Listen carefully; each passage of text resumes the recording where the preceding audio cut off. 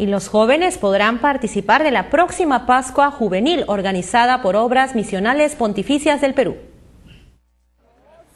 Obras Misionales Pontificias del Perú realizará del 28 al 30 de marzo la tradicional Pascua Juvenil Misionera.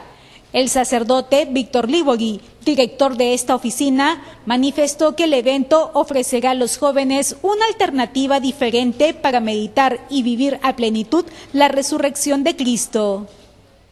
Jesús resucitado nos transmite a nosotros esta energía, la energía de creer que realmente la verdad es lo que vence. Es decir, ser testigos del el anuncio de que Cristo está vivo.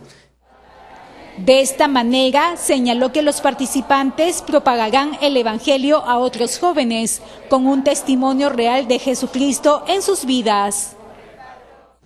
Ser misionero desde la entrega para eh, construir los valores del reino, para construir vida plena en este mundo, que es lo que Dios quiere para todos.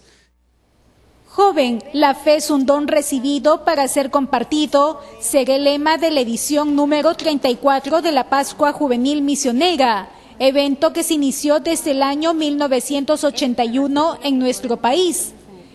Esta experiencia religiosa se realizará en el auditorio del Colegio de Jesús, ubicado en el distrito de Pueblo Libre.